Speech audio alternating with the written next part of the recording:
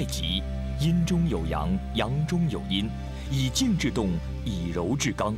练习太极拳可以强身健体，防治疾病。而导引超过两千五百年历史，是透过呼吸、肢体和意念运动，达到治理疾病的功能。两者历史悠久，都是中国养生文化的瑰宝。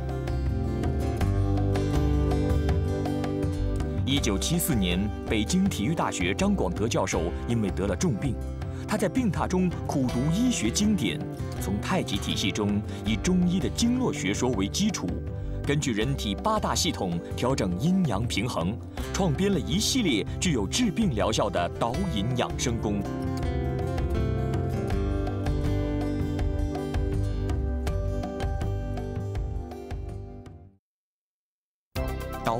生功是从太极动作中演变出来的，简单和顺，意念回归自然，透过以形导气、调整呼吸和意志的锻炼，达至身心健康境界。为了引证导引养生功疗效，在八十年代，张教授和研究人员在不同医院，例如山西医学院、空军武汉医院、河北廊坊市中心医院等等。做出临床测试，也以北京体育大学科研所为中心，对各套功法练功前后身体状况进行测试，证实练功后身体情况得以改善，疗效显著。我观察到练习导养生功的病人，以糖尿病为主，也有像高血压、冠心病和肿瘤等等一些病人。效果还是很好的。比如说，以糖尿病为例，在我们市有一个县，离退休干部当中有十一位得过糖尿病。他们经过一年多的练习之后，首先是尿糖由四个加号变成了加减号，又血糖由原来的十三点多而变成了现在正常范围。小看起来练习导引养生功。尤其是何为健脾功治疗糖尿病，效果还是相当好的。Well, I began to learn uh, Daoyin Shen Kong because although I was a doctor, I was uh, sick. I had a very bad disease which is called spondylarthritis.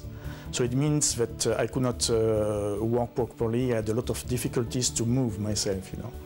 And after I met uh, Professor Zhang, I saw that the Daoyin and Shen Kong was very um, similar to the traditional Chinese medicine and could help me to move the qi in order to get uh, to get cured, you know.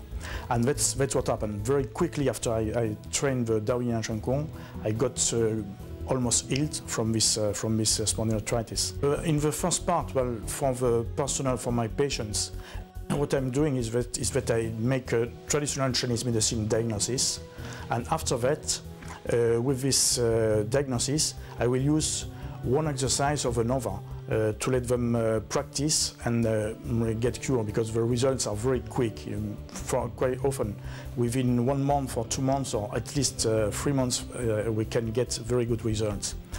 And for patients which are in very serious condition, uh, Professor Zhang developed a series of seated form.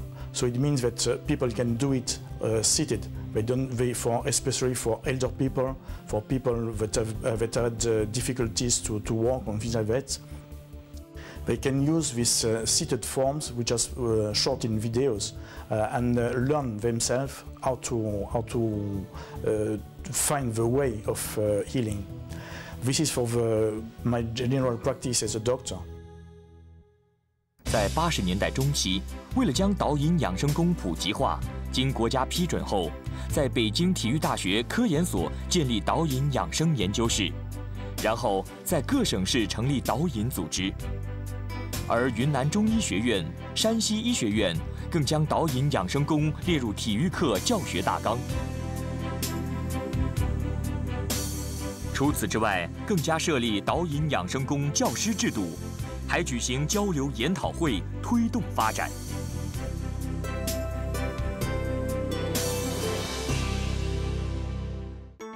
我一直因为跟老师练习这个导养生功，我发现对我这个专业方面呢，是吧，有了很大的提高。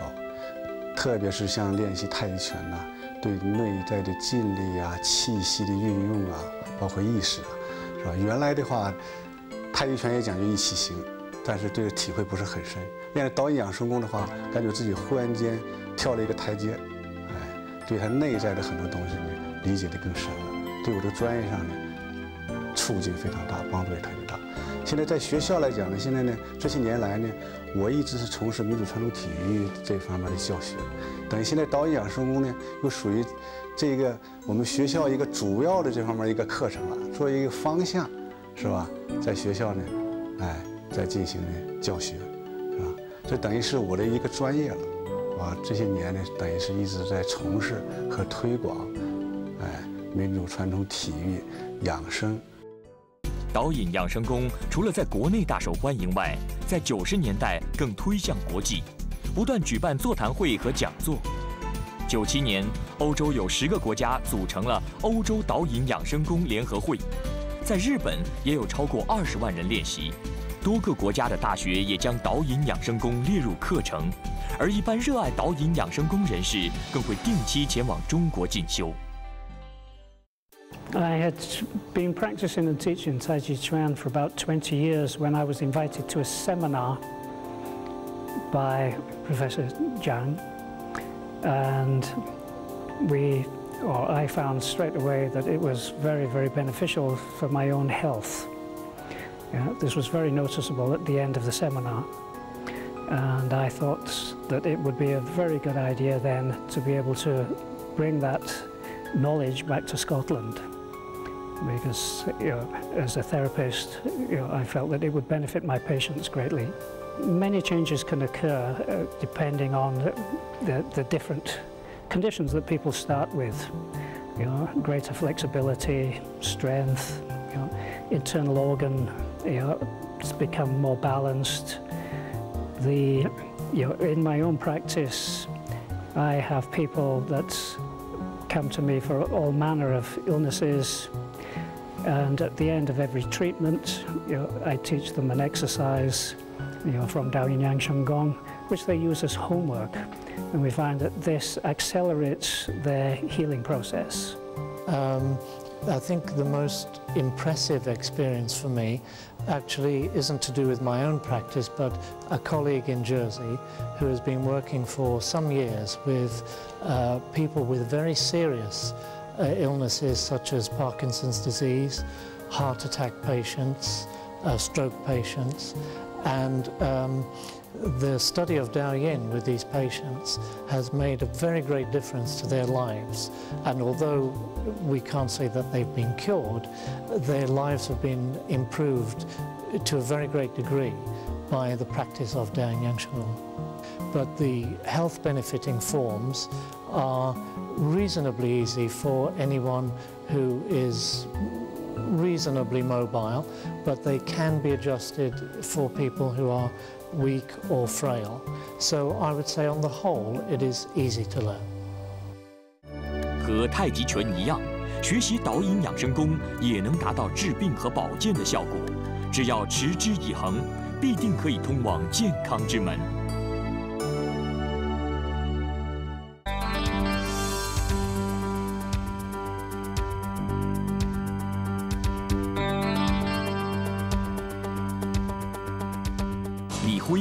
世界武术冠军，曾经在多个比赛当中屡获殊荣，为香港争光。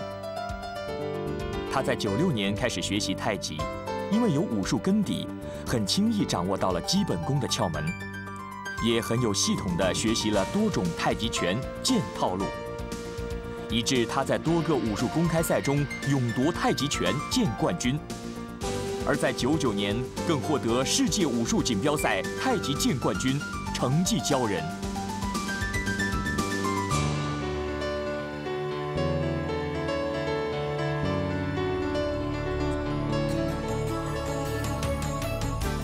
李辉，广西桂林人士，十一岁就考入戏剧学院。除了学习一般戏剧知识外，还学习北派，更经常练习武功，为武术打好良好基础。在八九年，他参加全港武术大赛。经过多个月的苦练，终于得到第三名。后来，他加入了香港武术代表队。八九年代表香港参加亚洲武术锦标赛，勇夺多个奖项，锋芒毕露。凭着实力，更屡次获得香港杰出运动员奖。在九三年参加第二届世界武术锦标赛，获得棍术和长拳金牌。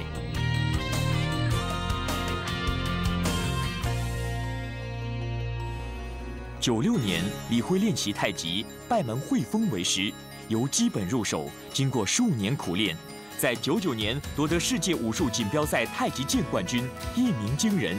之后，在二零零零年亚洲武术锦标赛荣获太极全能冠军。二零零一年，在第三届东亚运动会获得太极拳冠军和世界武术锦标赛太极剑冠军。他不断自我提升，寻访名师，继续进修，将太极知识融会贯通，更致力推广太极养生和武术文化，成立了李辉太极武术文化中心，开班授徒。他的学生遍布不同层面，他更希望透过不同渠道继续推广太极文化。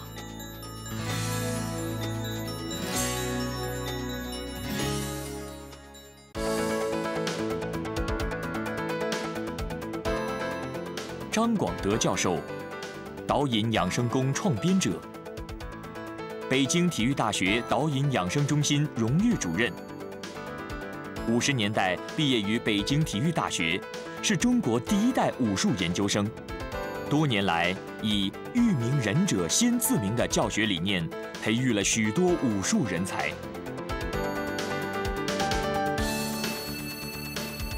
张教授由于长期工作繁重。以致患有高血压、心脏病及肝炎等疾病。在一九七四年经诊断之后，证实患上肺癌，生命危在旦夕。不过他积极面对，在病榻当中苦读医学经典，钻研病理，研创养生太极体系，以医学的哲理加上祖国医学中的经络学说、阴阳五行学说以及气血理论为指导，创编具有疗效的导引养生功。张教授一面接受治疗，一面练习导引养生功，身体得以康复。有见功法疗效显著，张教授把这套功法普及化，由全国推广至世界六十多个国家，现时超过四百万人学习。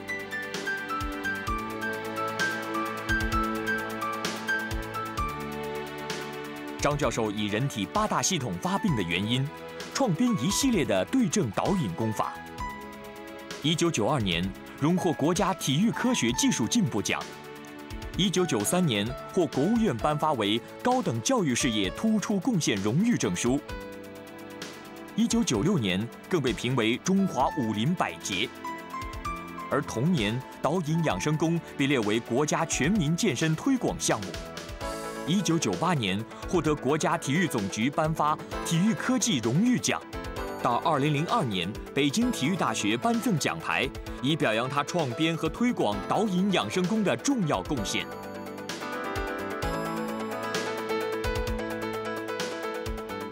张教授在教学的同时，还撰写了多本有关导引养生功的书籍，其中舒心平血功、益气养肺功、导引保健功等等，更被翻译了英文版本，以方便外籍人士学习。经过二十多年来的努力。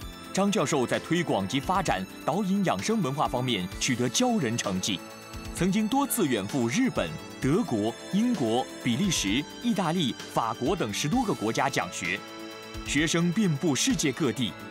今后，张教授仍然会以“育名仁者先自明”的教学理念，将导引养生文化发扬光大。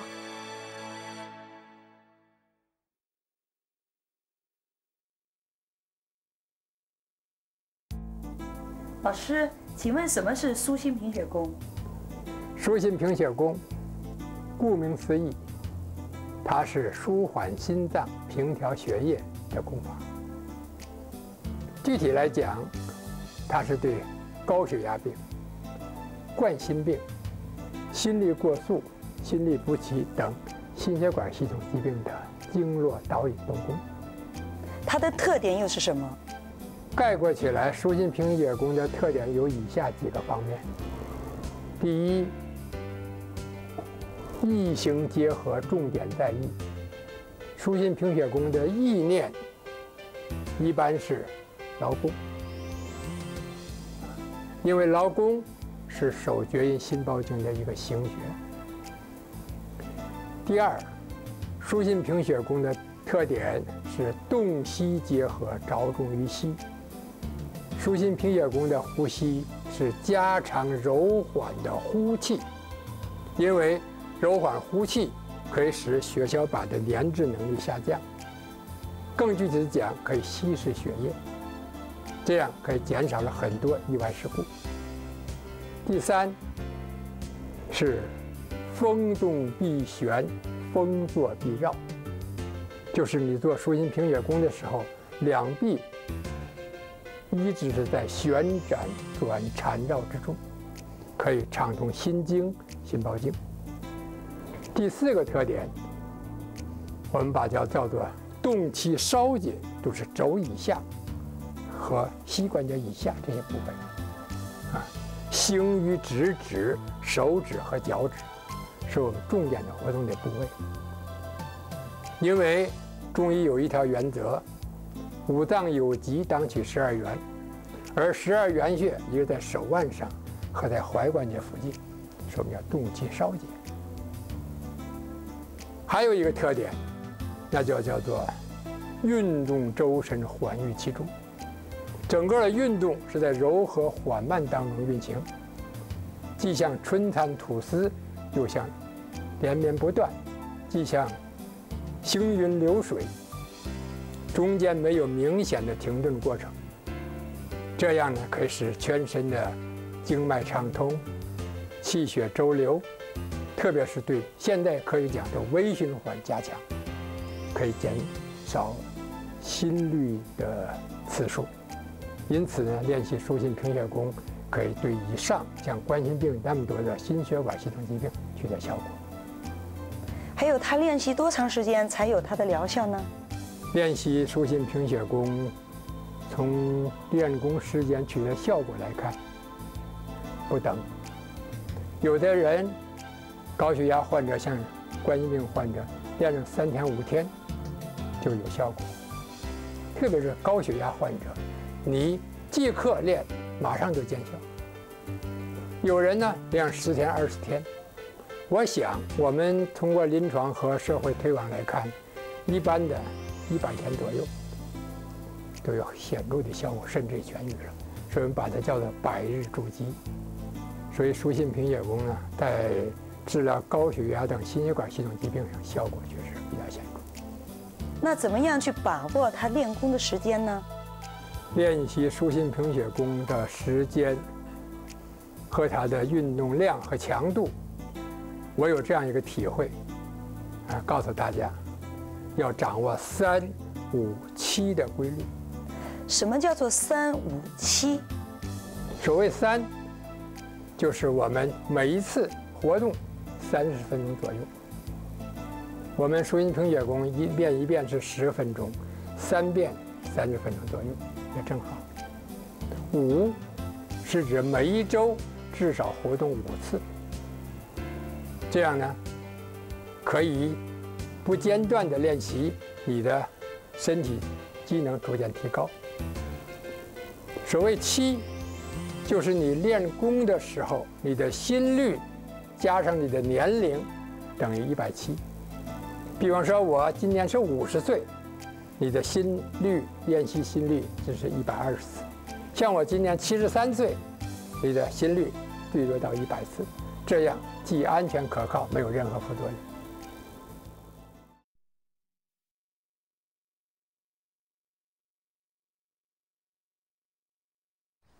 大家好，首先向大家介绍一下功前的准备。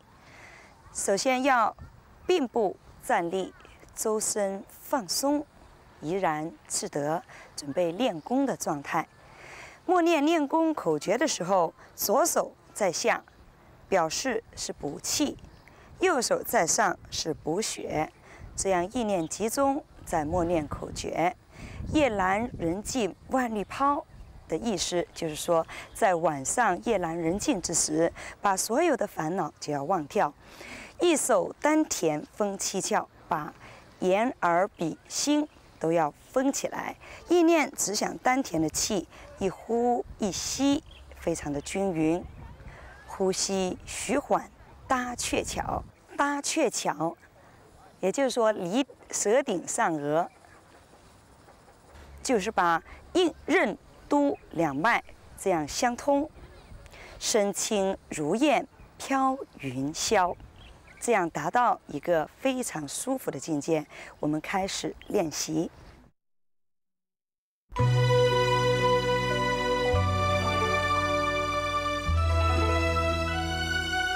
苏心平雪功第一套，现在开始，闻鸡起舞，一、二。三、四、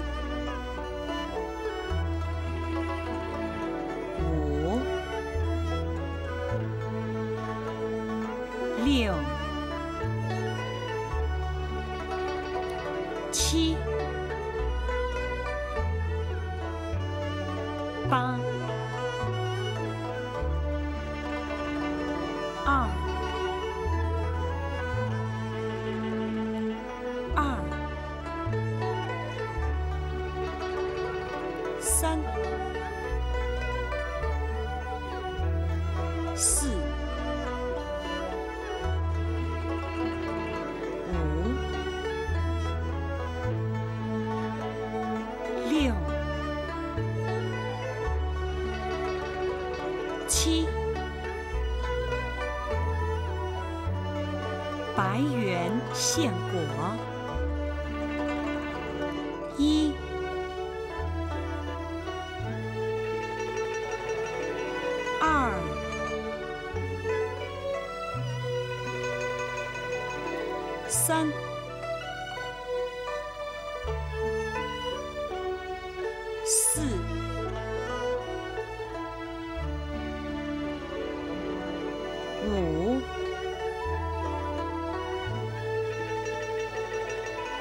六、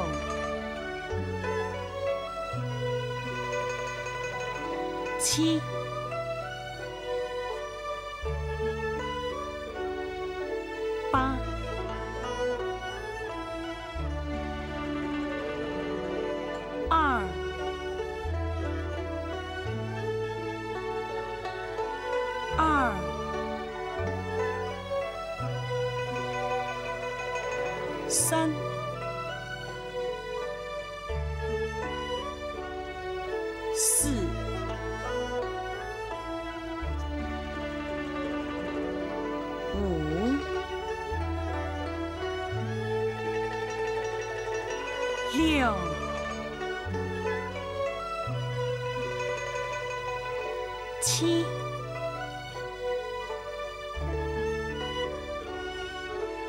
向卷鼻，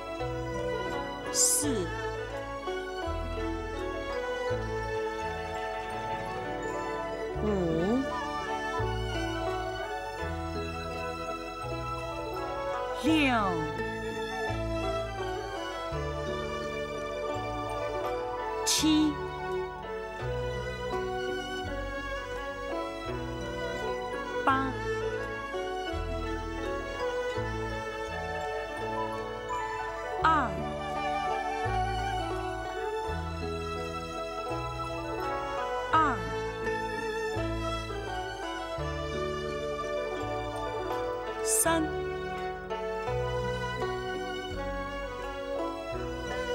四、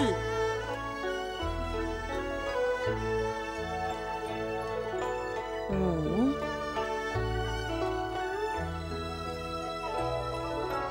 六、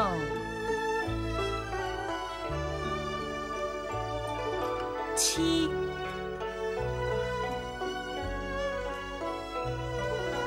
黄莺。叠榜，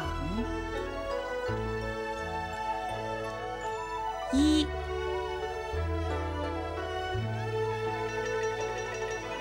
二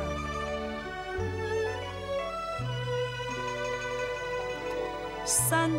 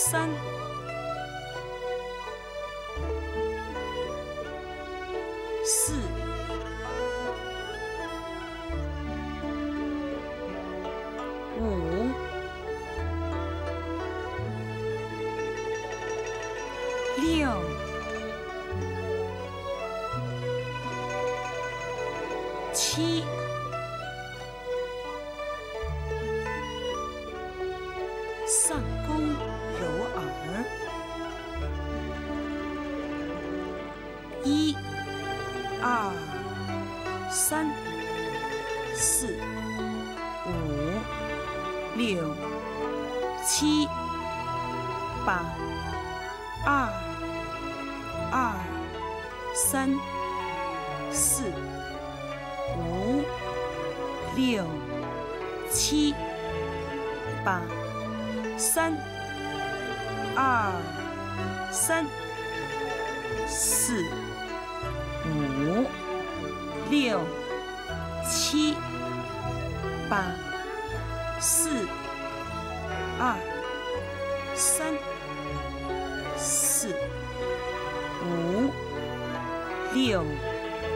垂臂扣腿，一、二。三、四、五、六、七、八、二、二、三、四、五。六、七、八、三、二、三、四、五、六、七、八。四、二、三、四、五、六、七，枯树盘根，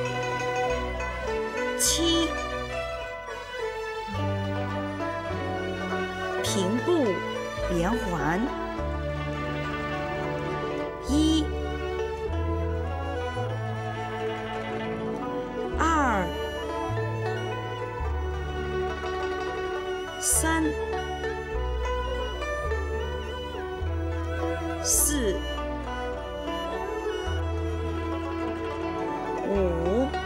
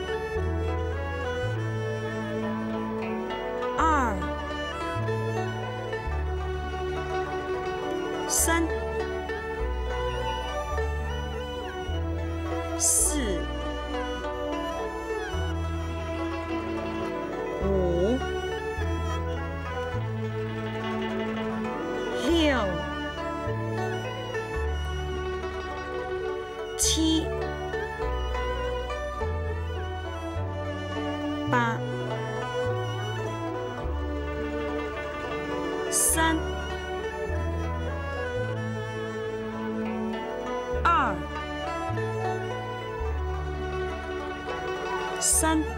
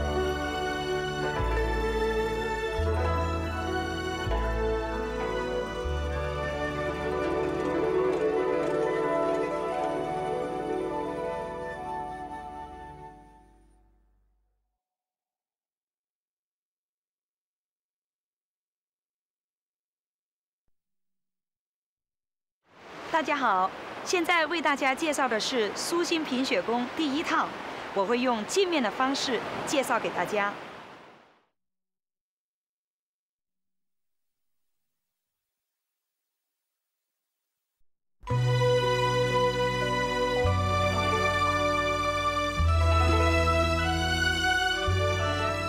第一是闻鸡起舞，动作非常简单，我们分上上身和下身分解。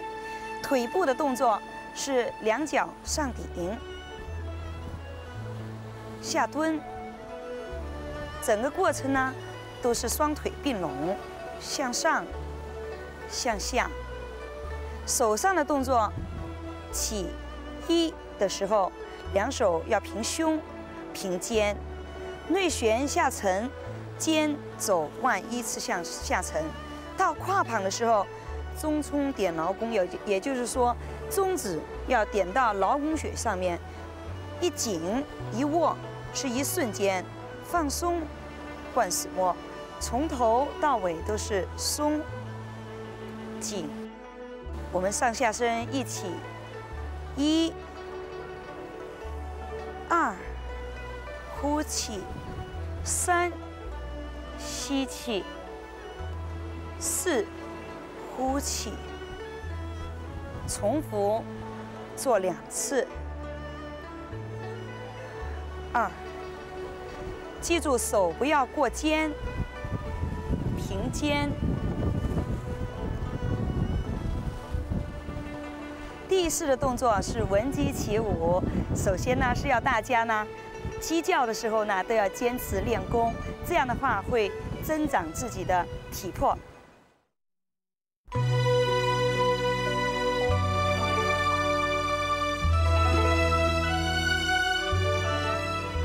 二是动作是白圆献果，动作的名称，它的意思呢，也就是把圆变成仙，把人指作仙。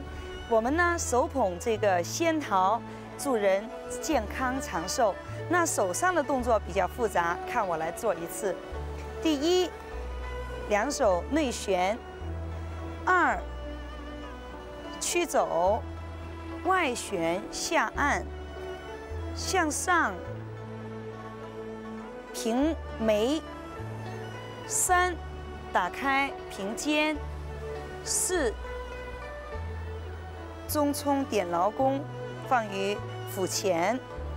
五，向前续；六，再来一次曲走，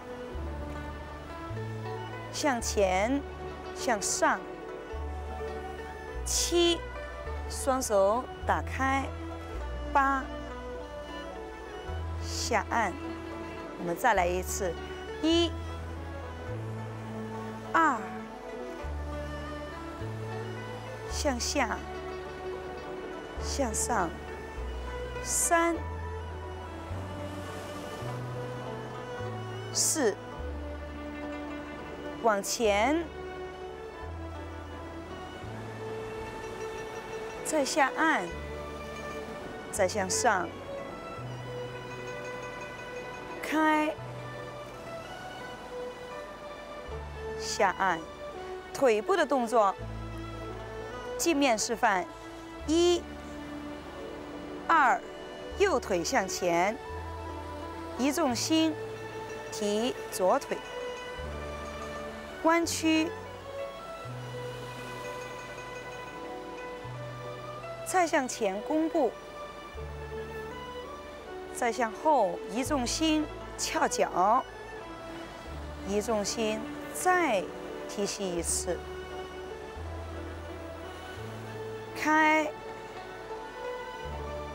收，我们手脚配合来做一次。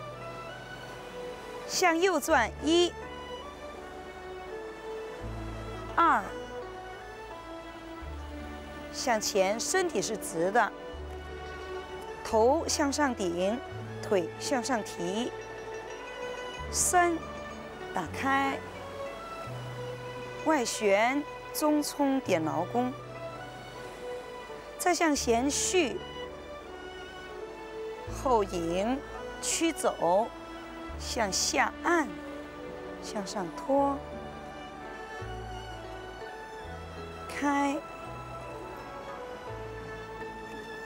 收脚。如果年纪大的朋友呢，这个提膝的动作可以省略，就变成了虚步，这样打开。就安全的多了。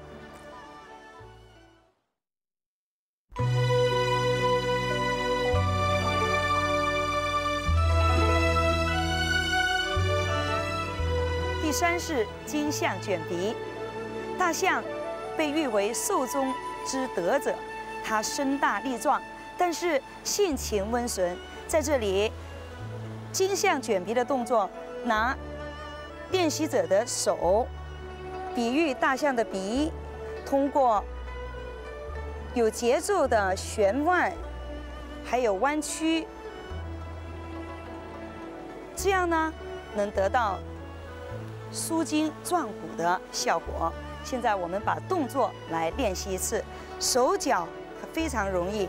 先是腿，开左腿的时候，屈腿，开步，向下蹲。两两腿要平，两膝对着脚尖，不要内扣和外展，或者是前屈，移重心，收脚。我们再来一次，一，打开，二，下蹲，三，起。移重心，收脚，手上的动作，两手相背相靠，外旋小拇指、无名指、中指、食指点至肩与穴上，两肘相靠，向外开，向上举，呼气，向下，再来一次，一、二、三。四，手脚同坐，向左开步，一、二、三、四，屈膝吸气，一、二，两肘要相靠，三。移重心，收脚。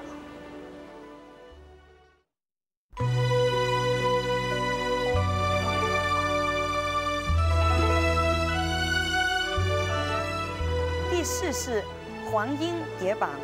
黄莺被誉为吉祥鸟，在此呢，我们把动作比喻为黄莺蝶膀，就是说，人如如果处于百花丛中，黄莺蝶膀。那自然会散发出青春活力。看看我们的动作怎么做，也是屈蹲，开左脚，下蹲，移重心，收脚，左右开步，再下蹲马步，是增强腿部的力量。因为人老先从脚底老，增强腿部力量，腰腿就不会酸。再看看手上的动作，指尖相对，向两旁开，先向左，转头，屈肘，上下，一二三四五，从腋下身后，再往前。一二三四五，左右，再看看怎么做。开，去走，上下，向前，一二三四五，是两旁。在中冲点劳宫，回收，手脚一起，向左一。二，呼气。三，吸气。四，移重心，收脚。我们再做一次右，向右开步，转头，屈肘，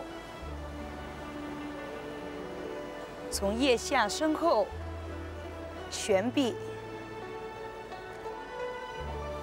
回收。那悬臂的动作主要呢，就是活动手上面的经络，令到呢，就像扭那个毛巾的道理一样，令到血管能做到一个良性的刺激，不会这么容易呢血管硬化。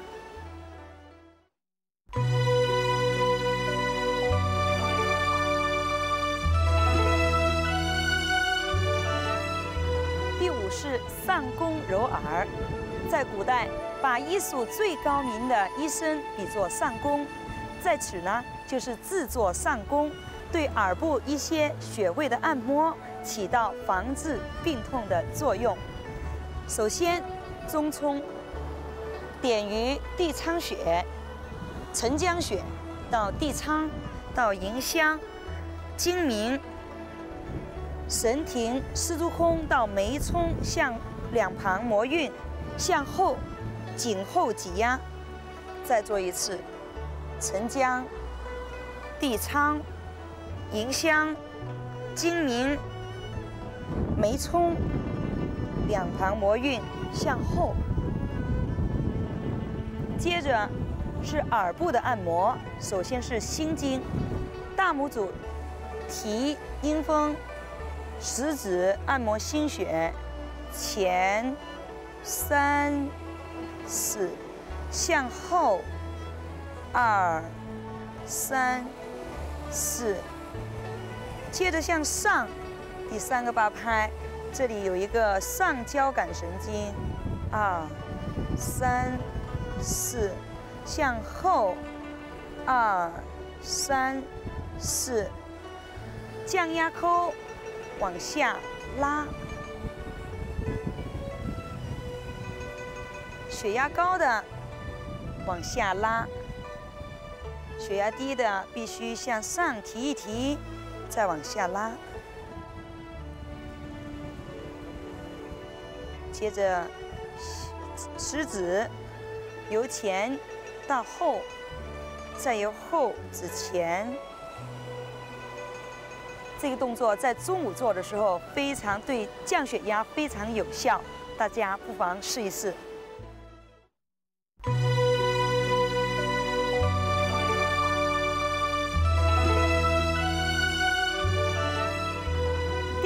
是捶臂扣腿，这个动作主要的目的是畅通手臂和腿部的经络血气，使之肌肉丰满和有力。这样呢，可以平肝滋肾，达到呢防治冠心病和高血压的疾病。动作非常简单，只是大家要留意，在捶臂的时候呢，拳头不要太实，放松一点，拳眼。对着手上面的经络，也就是手太阴肺经和手阳明大肠经的经络交错之处，一、二、三、四，依次往下，接着由下到上，后边就是在命名穴上面放着，不要太大力了。腿上面的动作是从尾中一。再往下，沉筋，再向下，一直到复阳，再从下往上，依次做。我们手脚同时做一次，一、二。三、四、五、六、七、八，再由下至上，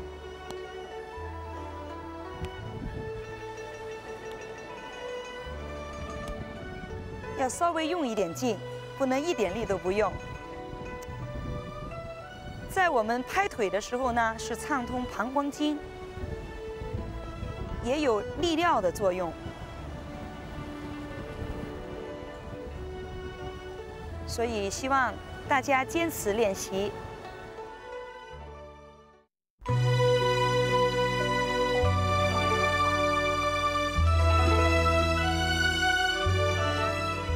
第七式，枯树盘根。首先，我们看看我们的腿部动作怎么做。向左开步，移重心到左脚，右脚向左脚的前方搭步，下蹲，再起来，开步，再移重心，收脚。我们再做一次屈。开步，脚尖、脚跟依次落地，移重心，把右脚放在左脚前，下蹲，开步，收，手上的动作，先指尖相对，向左，转头，旋臂，二。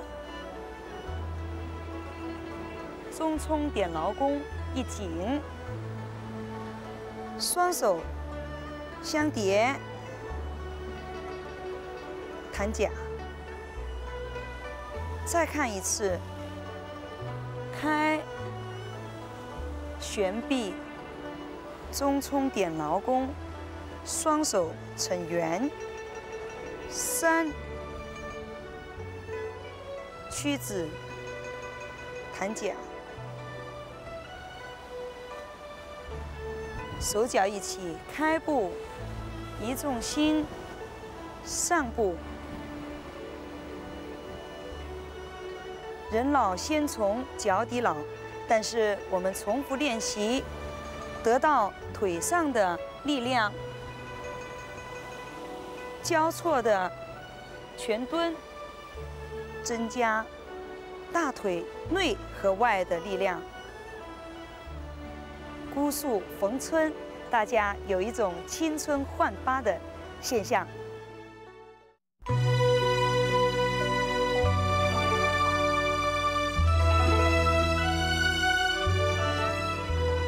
第八式平步连环，象征着上步平安无事，连环长久健康。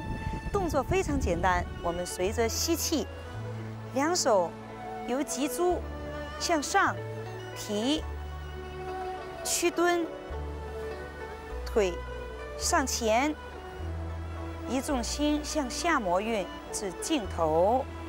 在提气时。提裆，呼气，下沉，移重心，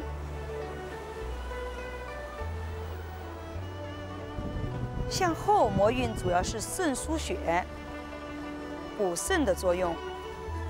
向前，在左的时候是左手在下，在右的时候是右手在下。我们首先向右。提起，到膻中穴向下，呼气，移重心向后提气的时候要轻，向上提；向下呼气的时候要重，向下磨运。吸气上提，呼气磨运。连环进行，余意要坚持练习，才能长久康宁。最后，男左女右，把手搭置于关元，深呼吸三次。呼气的时候，关元丹田位置是往下；呼吸气的时候是向上。反复三次。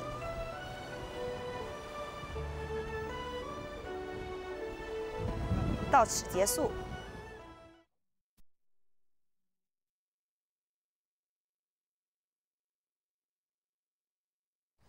大家好，首先向大家介绍一下功前的准备。首先要并步站立，周身放松，怡然自得，准备练功的状态。默念练功口诀的时候，左手在下，表示是补气。右手在上是补血，这样意念集中在默念口诀“夜阑人静万绿抛”的意思，就是说在晚上夜阑人静之时，把所有的烦恼就要忘掉。一手丹田封七窍，把眼、耳、鼻、心都要封起来。意念只想丹田的气，一呼一吸，非常的均匀。呼吸徐缓。搭鹊桥，搭鹊桥，也就是说离舌顶上颚，就是把应任督两脉这样相通，身轻如燕飘云霄，这样达到一个非常舒服的境界。我们开始练习。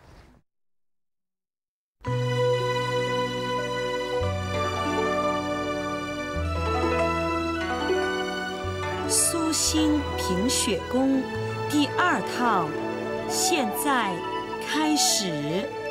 要字钻天，一、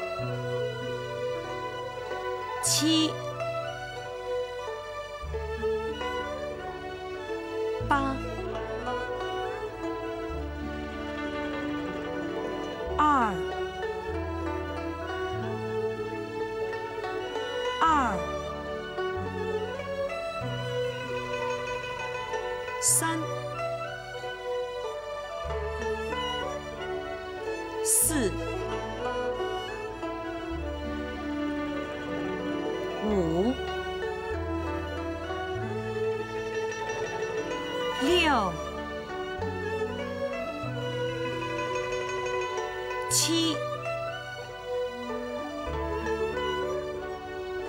双峰掩耳。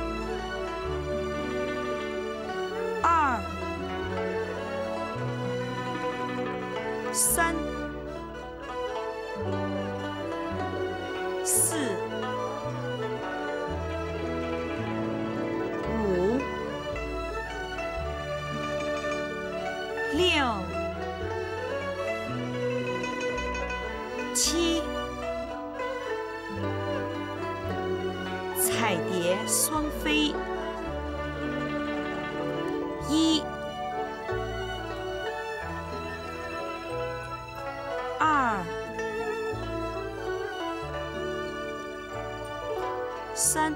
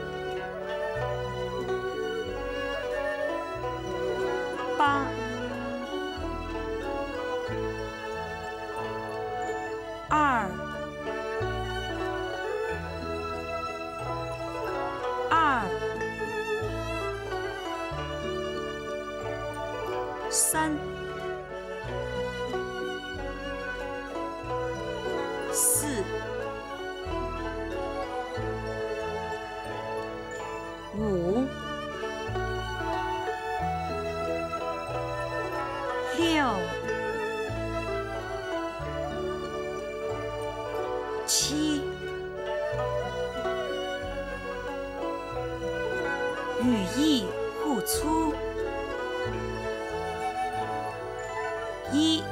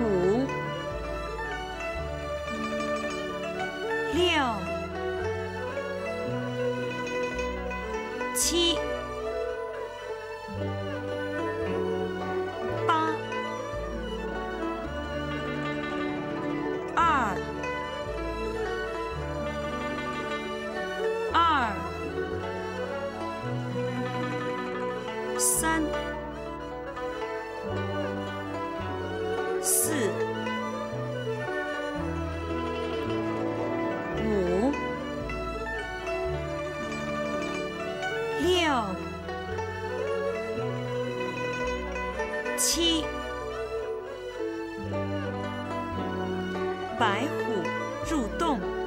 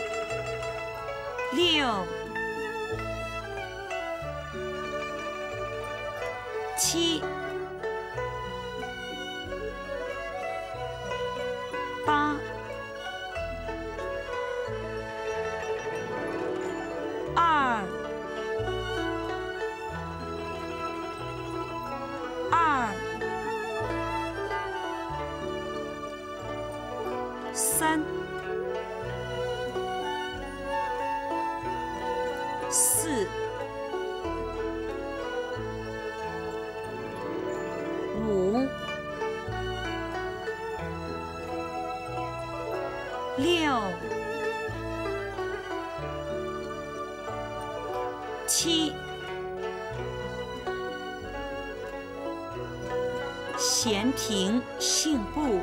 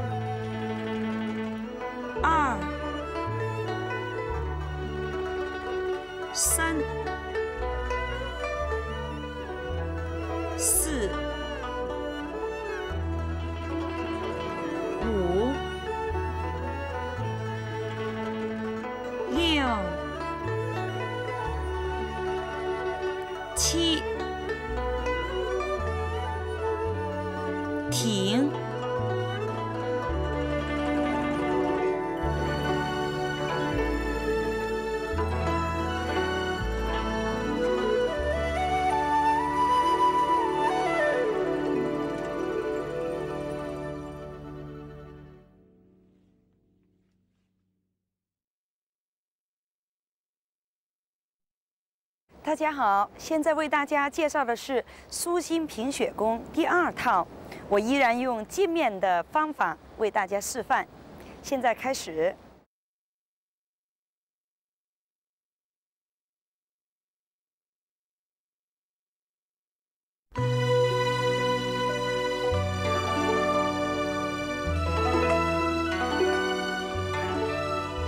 第一式鹞子钻天。非常简单，看看怎么做。首先，把脚打开，移重心，收脚。腿上的动作，开步的时候必须要屈蹲，再开步。移重心，收脚。手上的动作，小指向上翘，平心，向下按，与弹中，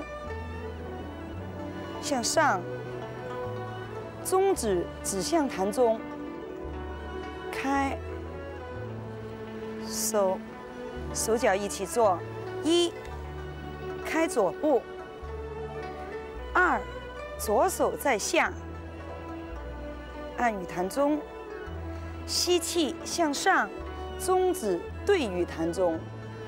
三，呼气，收腿，向右开步，两手向上。二，按与弹中，呼气。三，向上，吸气，呼气。收势，重复两次。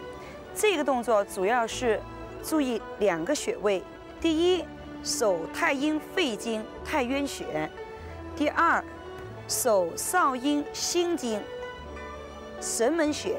用大拇指和中指分于分别掐于两个穴位之上，中指指向膻中，刺激手。原穴，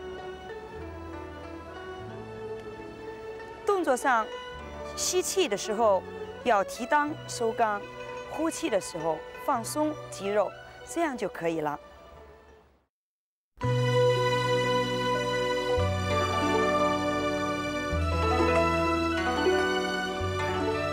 第二是麒麟吐舒，这个“舒”字这里代表一个科的音，科音。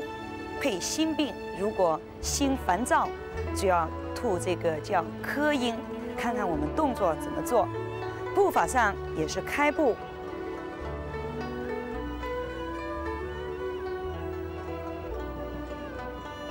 移重心，收脚。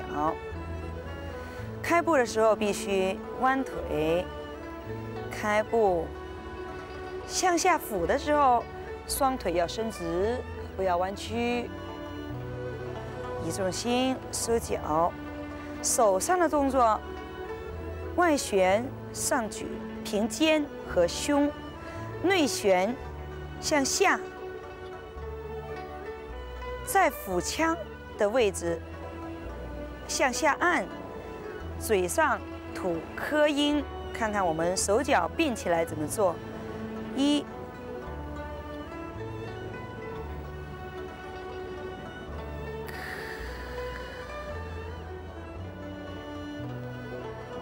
一重心，左右都一样，向前，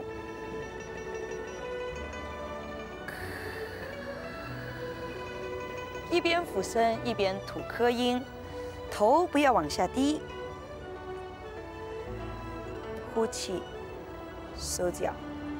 这个动作非常容易，但是呢，必须要注意两个地方。第一，就是向下沉。向下俯的时候呢，手贴于腹前，腿要伸直，不要弯曲。向下俯的时候，腿要伸直，头不能往下。特别是有高血压的朋友，必须要记住这一点：头往上，同一时间吐科音，这样就可以了。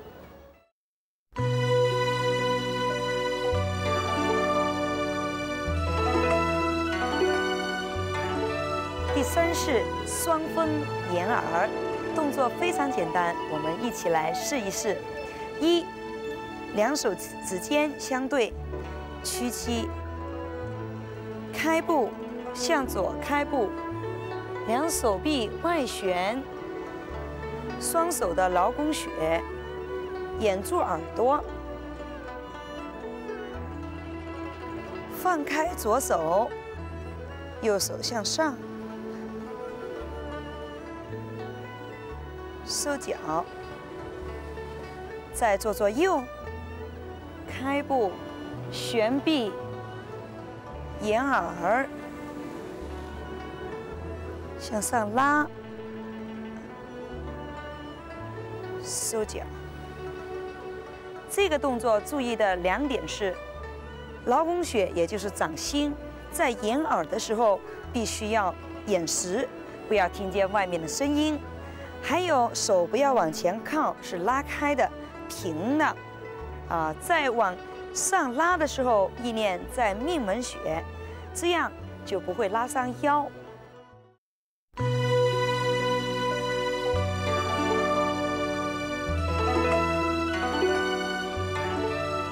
第四是彩蝶双飞，就像蝴蝶飞舞的动作一样，要潇洒。转腰，意念在命门穴上，向左转，向右转。我们来，一，向左三十度，两手臂抬起，要旋，再旋腰。还原，向上托，吸气，两手向上撑，呼，手向右三十度，转手臂，再走三十度，曲肘，回到中间，向上吸气，呼气，我们再来做一次。在做的同时，大家知道，我们转腰的动作是补肾。向上举的时候，是抒发胸中的闷气，可以做到解闷的作用。意念命门转腰吸气的时候，提裆收肛，同一时间可以防治。痔疮、便秘，动作简单，可以反复练习。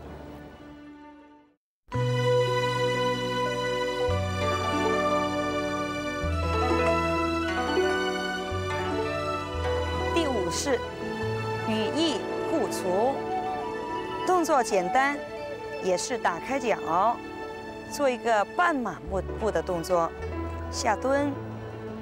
下蹲的高度因人而异，腿部力量强的可以下蹲一点，腿部力量不好的可以站高一点，尽量在自己呢感觉有一点点累的情况之下，这样就比较合适了。而且我们做到呢，两个膝盖要对着脚尖，下蹲的时候不要往前跪，也不要往外摆或者是内旋，记住，膝盖要对着脚尖。收，手上的动作，两手臂相靠，起先是走，再到挽，再到指，这样是活动每一个关节的作用。手脚一起，开步，弹指，向下按的时候，就像。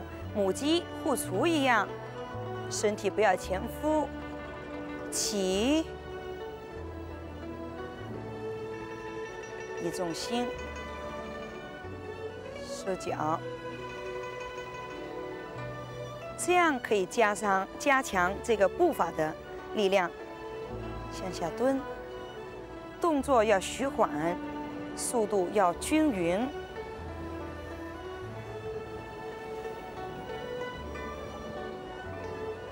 反复练习可以增加腿部力量，防止腰腿的疼痛。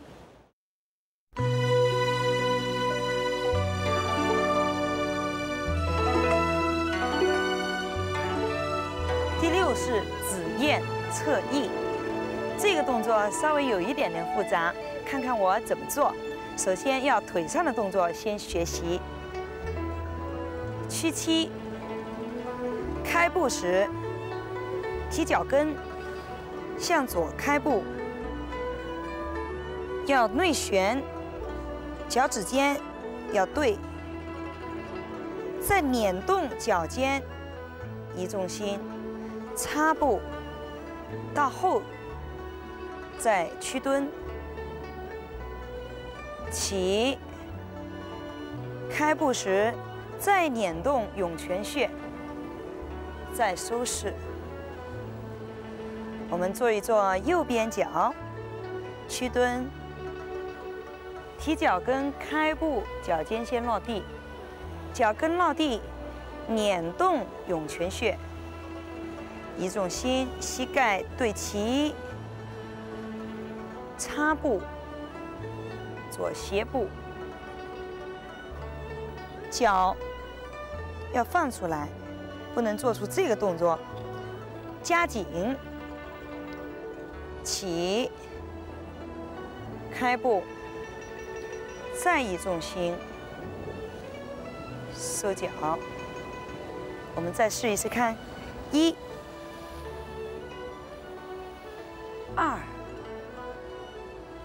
擦步下蹲，三，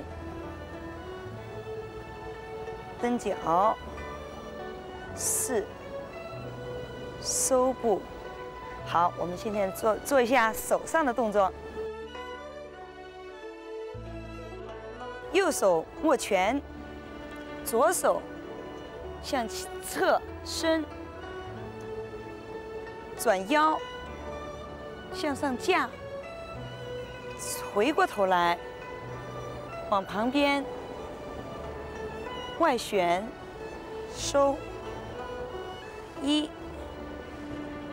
二、三、四，手脚一起，一，向右开步，二，一重心，插步，侧翼之后，三，外旋，四，一。二，插步，转腰，三，四。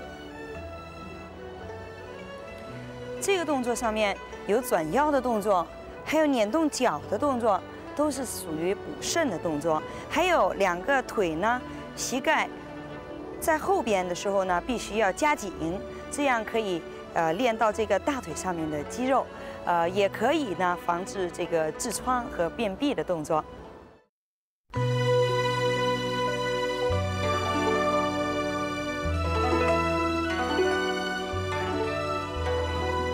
七式白虎入洞，老虎非常勇猛，但是它在入洞的时候还得小心翼翼，所以我们在这做这个动作的时候，必须要注意一点柔软性。先手向外翻，腰向后，头都向后，回身，屈蹲，向前迈步勾脚，移重心，头稍稍向上，后边勾手向上，形成一个对拉，回，手背相靠。走，腕，指，再做一次，向外旋，向后仰身，腿要伸直，弯曲腿，向前，移重心，向上拉，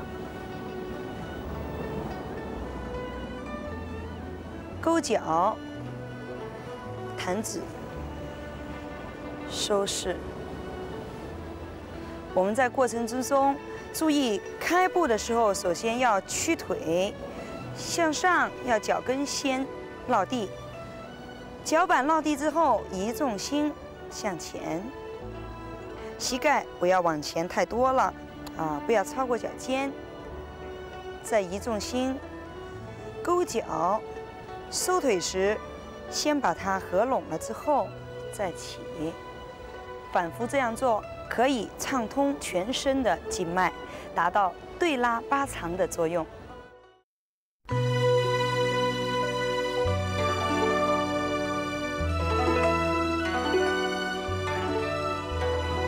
是闲庭信步，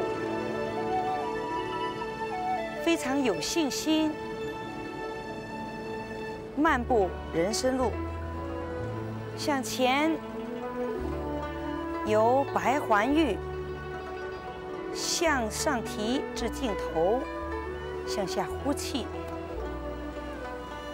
主要是按摩肾俞血，使肾功能得到提高。产生一种温暖的感觉。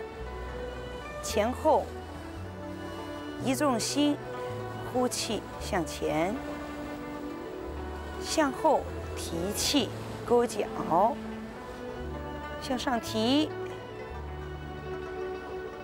收势，双脚并拢，起，双手搭于关元，男左女右。为什么说男左女右？因为男主气，左手是主气，右手是主血，女主血，所以女子练功完毕之后，应该是右手在下，呼气的时候，腹部是扁进去的，吸气的时候是胀出来的。我们反复三次，呼，吸。呼，吸，呼，吸，细匀深长的呼吸有助于平心静气，达到原来最舒服的状态。整套功法到此结束。